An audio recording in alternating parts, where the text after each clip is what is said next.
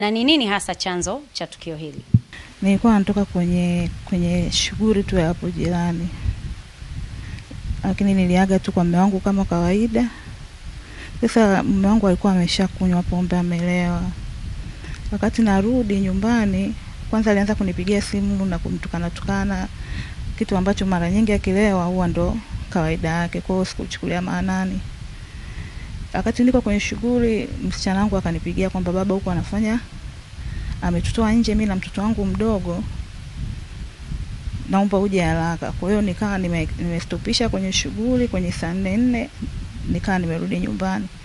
Kurudi nyumbani nikamkuta msichana ameshaingia ndani, wako ndani. Nikagonga, niko mimi na jirani yangu ambaye nilienda naye kwenye hiyo shughuli, akatufungulia.